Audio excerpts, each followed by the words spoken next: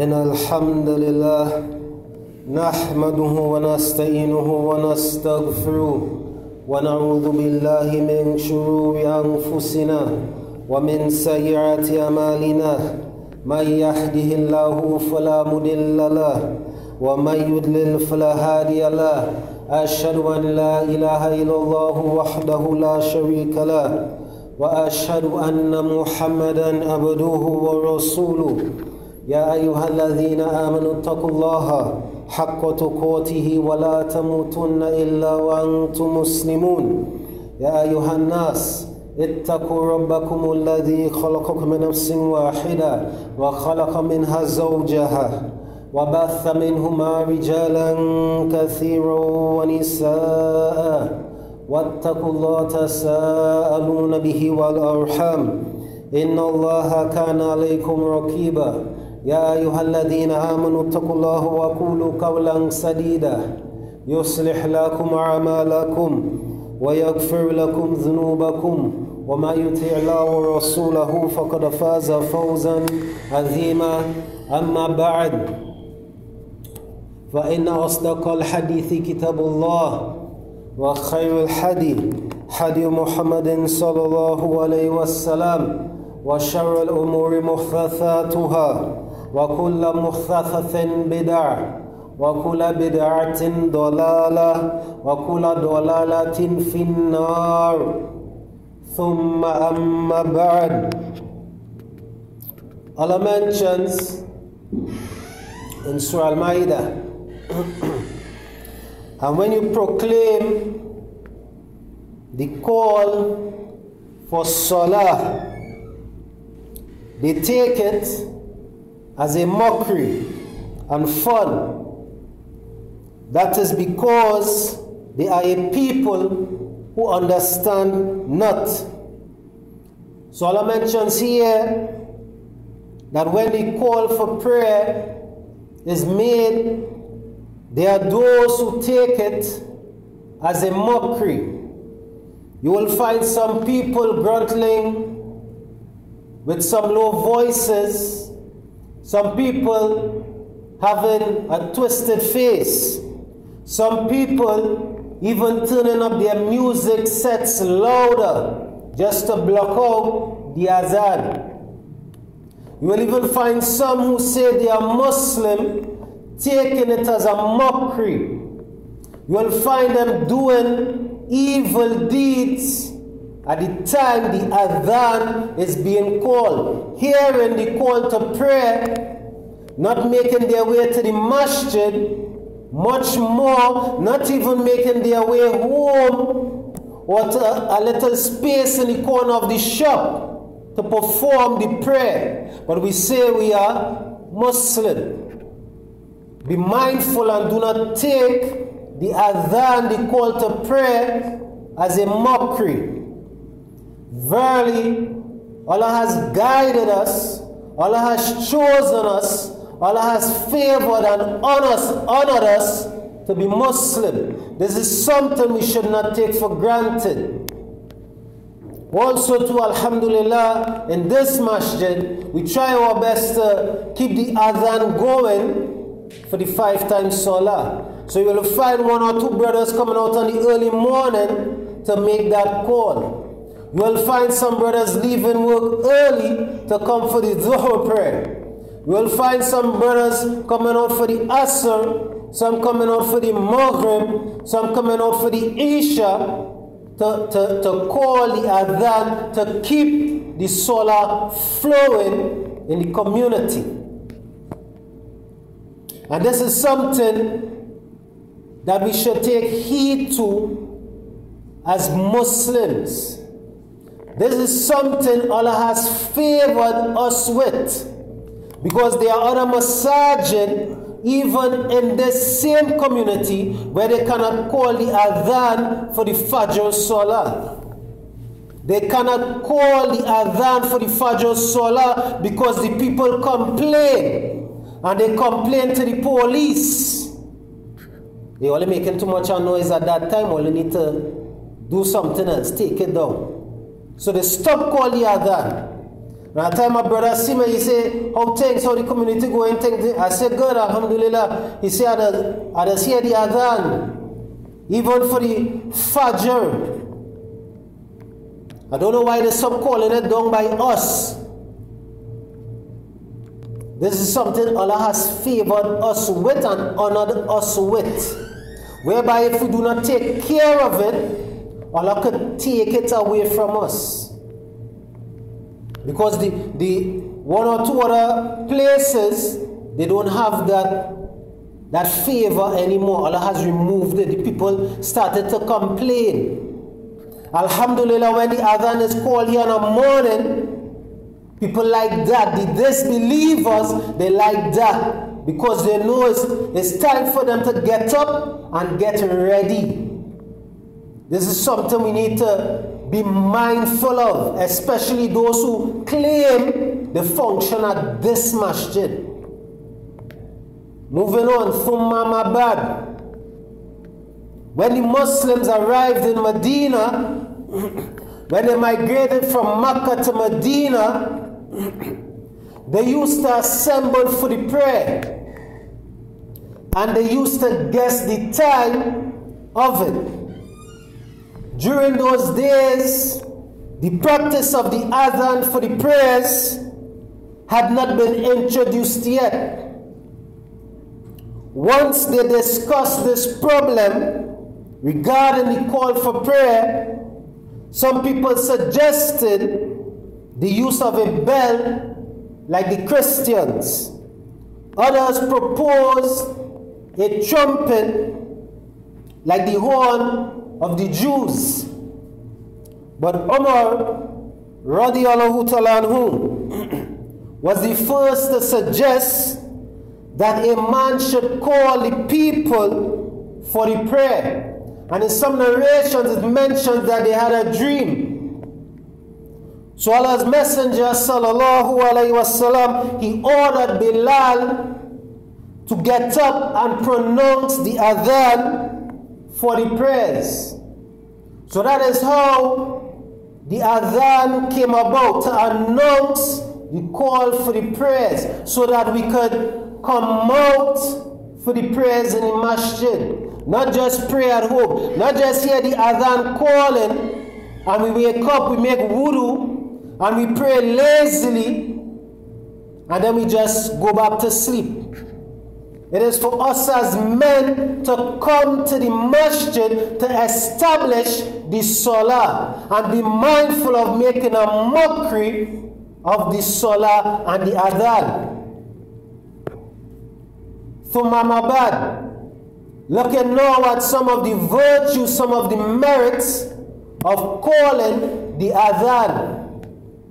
The Messenger of Allah sallallahu alayhi wasallam said, were people to know the blessing of pronouncing the adhan and the standing in the first row, they would even draw lots to secure those privileges. So if people knew the amount of reward and virtue and blessing for calling the adhan and establishing their salah in the front row for the men, they would do so even if they had to cast lots. People will give wealth, they will give limbs just to call the adhan due to the tremendous blessings that it has. The Messenger of Allah sallallahu alayhi wasallam said, the muadhin will have the longest necks on the day of resurrection. On that day, on that day when many people will be terrified when they will be so terrified that they will be sweating from terror. The sun will be brought near. People will be sweating, some up to their ankles, some up to their knees. Some people will be sweating up to their chests, up to their necks. Some people will be sweating and drowning in their sweats. The Muadhin, he will have the longest neck on the day of judgment. These are from the merits and the virtues of calling the adhan. The Messenger of Allah sallallahu alayhi wasallam said, when the adhan for salah is pronounced, the devil takes to his heels and he breaks wind with noise so as not to hear the call. When the adhan is finished, he returns. When the iqamah is announced, he turns his back. And after it is finished, he returns again to distract the attention of one and makes him remember things which he does not recall in his mind before the salah and says, Remember this and remember this, and thus causes one to forget how many rakah he has performed. So when the adhan is being called, the devil, the shayateen, they take to their heels and they disperse because they do not, do not want to hear this beautiful pronunciation and certain words. So they take to their heels and they divert. And when it is finished, they come back. And when the iqamah is being pronounced, they turn their backs. And again, you will find some of those who say they are Muslims having attitudes, having actions like this that when the adhan is called, all the time lying or talking when the adhan is called, they're ready to, to out. Walking distance from the masjid. Ready to out. Do not follow in the footsteps of the devil. And so much so, he turns his back from the iqamah. When the iqamah is finished, he, he comes back and he returns to a person and he starts to whisper. Do you remember this? Do you remember that? To such an extent that a person forgets in which rakah he is. He forgets whether it's the first or the second or the third rakah. Be mindful of this, brothers. The Messenger of Allah sallallahu alaihi wasallam said, when you hear the adhan, repeat what the muadhin says. Then ask Allah to extol and mention concerning the status of the Messenger of Allah sallallahu alaihi wasallam, because everyone who does it will receive in return ten rewards from Allah. Then beseech Allah to grant me al wasila. That is a high rank in paradise, fitting only for Allah's slaves. And I hope that I will be that man, the messenger of Allah, sallallahu alaihi wasallam. If anyone asks for al wasila for me, it becomes incumbent upon me to intercede for him. So here from the virtues of the adhan is when the muadhin is calling the adhan, we recite it and then we extol and make mention and we beg Allah to send salah and salam upon the Messenger of Allah sallallahu alaihi wasallam. And we beg Allah to send to give the Messenger of Allah sallallahu alaihi wasallam al wasila, the highest position in Jannah. And whoever does this, he sallallahu alaihi wasallam will intercede for that individual. We are from those who are in need of the intercession of the Messenger of Allah sallallahu alaihi wasallam. Also, the Messenger of Allah sallallahu alaihi wasallam said, the supplication made between the adhan and the iqamah is never rejected. The believer is one who will take heed to this and instead of prattling and instead of just letting time pass and just finding some old talk, we would find time to make some dhikr, to make some dua. Oh Allah bless me. Oh Allah protect me. Oh Allah help the Muslims. Oh Allah, rectify our brotherhood. O Allah, increase me in knowledge. O Allah, and you beg Allah for that which you need. Oh Allah, rectify my marriage. O Allah, heal my sick and ailing child or mother. Beg Allah at this time because at this time the dua is not rejected. La ilaha illallah wahdahu la sharika lahu lahu al-mulku wa lahu al-hamd yumitu wa huwa ala kulli shay'in qadir.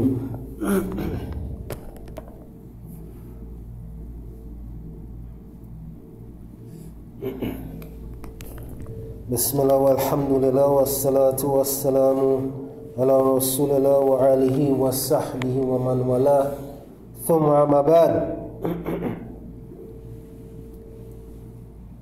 Also from the virtues and the merits of pronouncing the adhan but firstly be mindful that when you hear Allahu Akbar Allah is the greatest. Allah is greater than your job. Allah is greater than your family. Allah is greater than the brotherhood. Allah is greater than everything from the creation.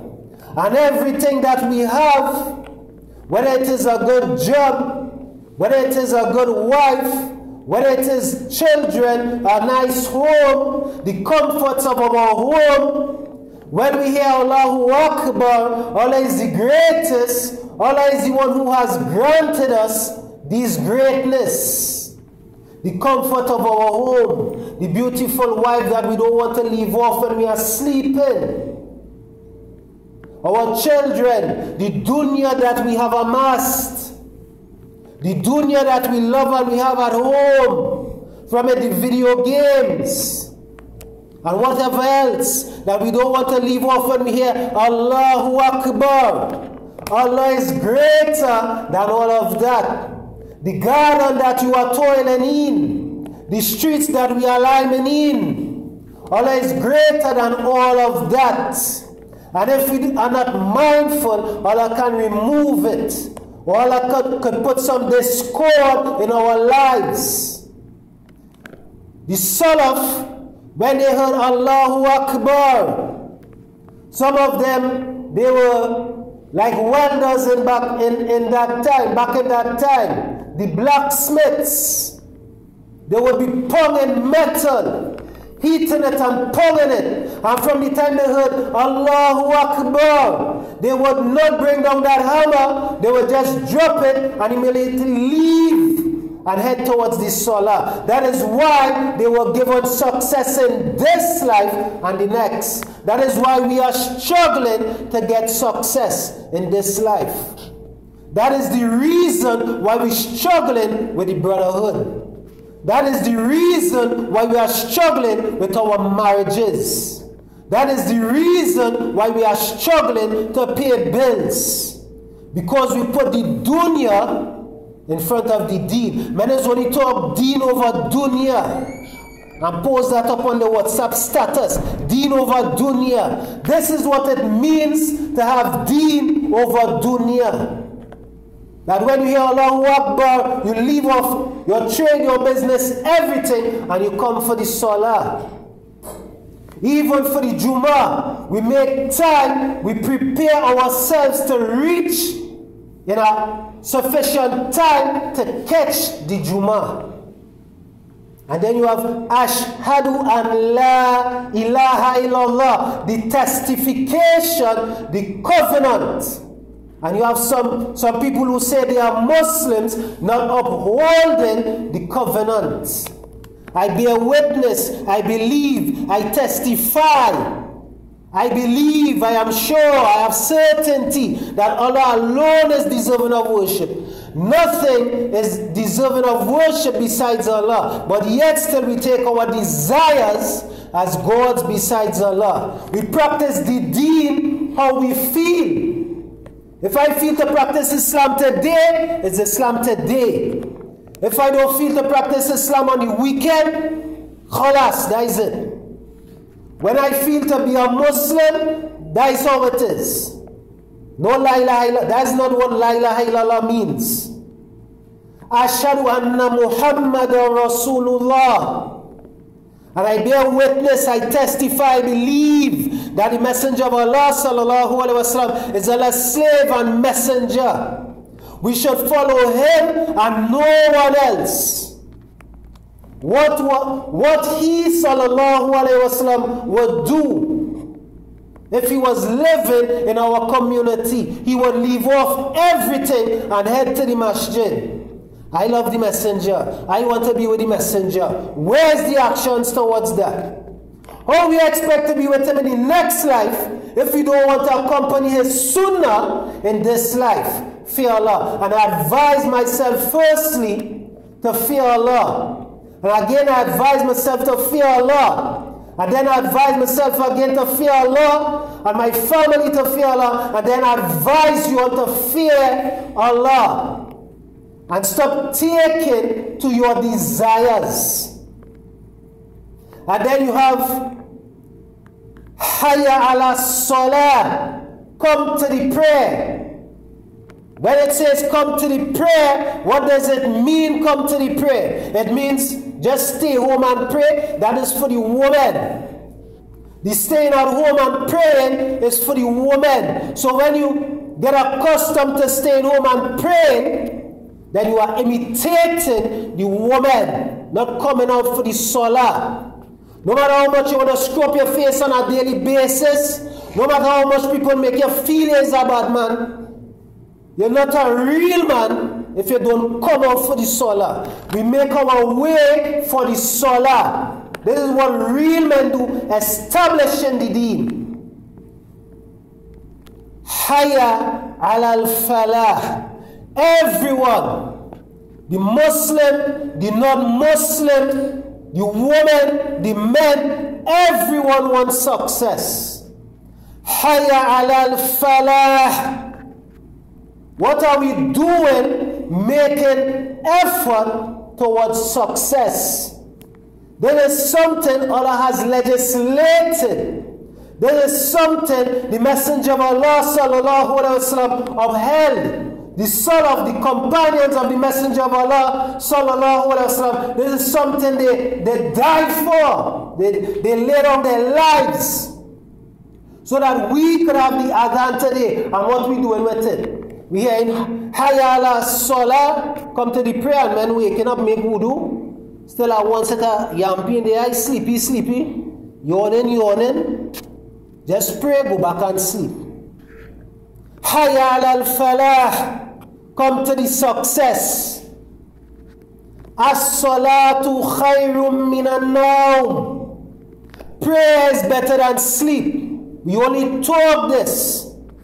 Prayer is better than sleep. It don't mean pray at home. This is something specific for the Fajr Salah. As-salatu khayrum minan nawm. We make effort for everything else.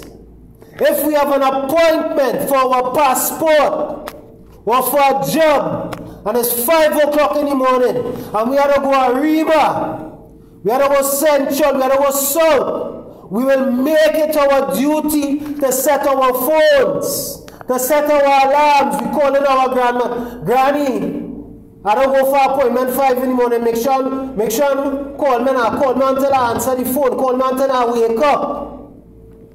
Because it's important, that dunya is important. But when we hear as-salatu khayru minanaw, you have those who say they are Muslim, still finding themselves asleep.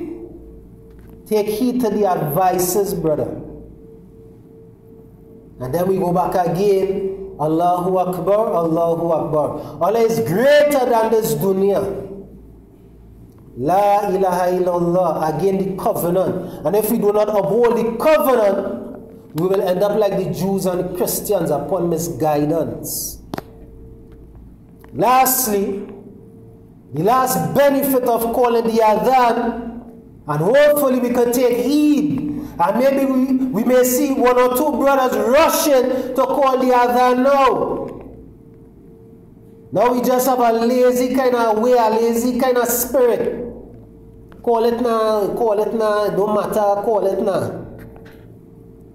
Brothers, the believers is be rushing to call the adhan because of the virtues that it has. The Messenger of Allah sallallahu alaihi wasallam said to one of the companions, he said, I see that you like living among your sheep in the wilderness. So whenever you are with your sheep or in the wilderness and you want to call adhan, you should raise your voice. Because whoever hears the adhan, whether a human or a jinn or any other creature, they will testify for you on the day of resurrection.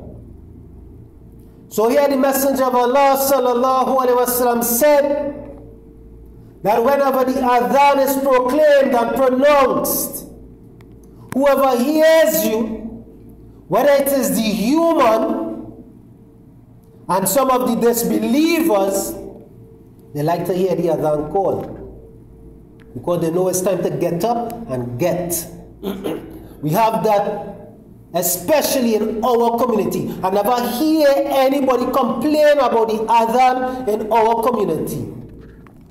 The adhan, the, the, the mic, the, the speaker or something, it toned down something, but it used to be louder. People is complain that they're not hearing the adhan again. It's not, it's not spreading as far. I used to hear the adhan at home. Some people living down inside a bagatelle, down by the rubbish heap. Here in the Adhan, early in the morning, they know it's time to get up and get ready for work. We have that here. Do not be like those who lose the favor and honor from Allah, whereby people start to complain because Allah could twist the hearts of the people however He please. So whoever hears the, the, the adhan being proclaimed, whether it's human or jinn, and jinn is from the unseen, and verily they are around. The devil too, he hears and he takes his heels and he, he diverts and he leaves.